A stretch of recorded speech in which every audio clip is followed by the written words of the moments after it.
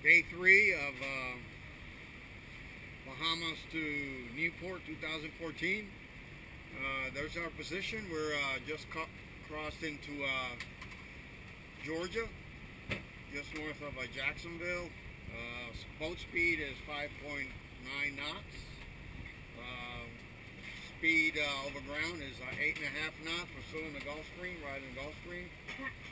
there's the wind. It's 8 knots apparent close reach.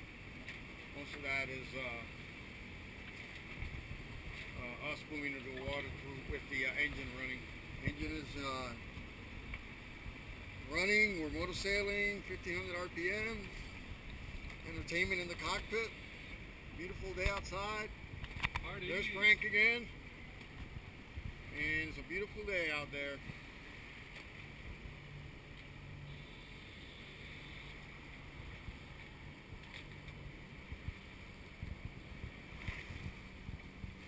Do have the uh, head sail out now because the uh, because of the wind angle. But to maintain our uh, speed of